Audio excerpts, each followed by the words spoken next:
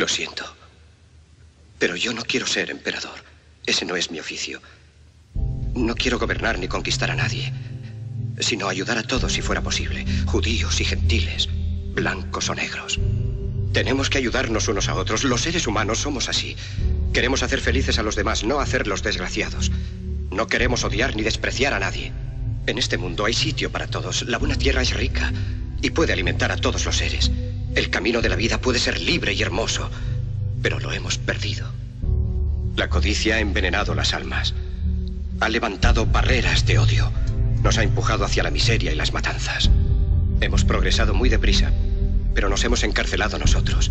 El maquinismo que crea abundancia nos deja en la necesidad. Nuestro conocimiento nos ha hecho cínicos, nuestra inteligencia duros y secos. Pensamos demasiado y sentimos muy poco.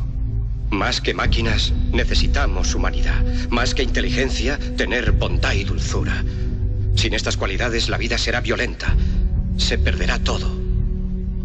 Los aviones y la radio nos hacen sentirnos más cercanos. La verdadera naturaleza de estos inventos exige bondad humana, exige la hermandad universal que nos una a todos nosotros.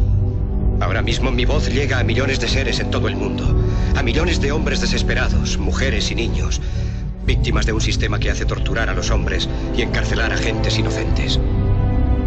A los que puedan oírme les digo, no desesperéis, la desdicha que padecemos no es más que la pasajera codicia y la amargura de hombres que temen seguir el camino del progreso humano. El odio de los hombres pasará y caerán los dictadores y el poder que le quitaron al pueblo se le reintegrará al pueblo. Y así, mientras el hombre exista, la libertad no perecerá.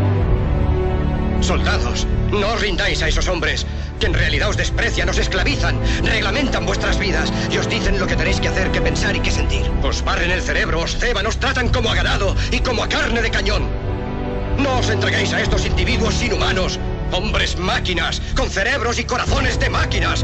Vosotros no sois máquinas, no sois ganado, sois.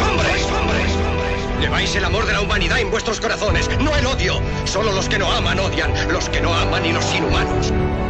Soldados, no luchéis por la esclavitud, sino por la libertad.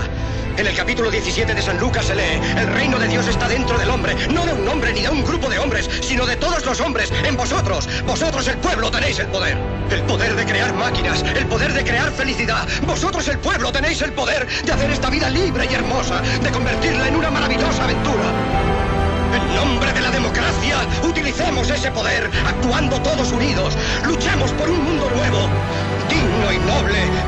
A los hombres trabajo y dé a la juventud un futuro y a la vejez seguridad. Con la promesa de esas cosas, las fieras alcanzaron el poder, pero mintieron, no han cumplido sus promesas, ni nunca las cumplirán. Los dictadores son libres solo ellos, pero esclavizan al pueblo. Luchemos ahora para hacer nosotros realidad lo prometido.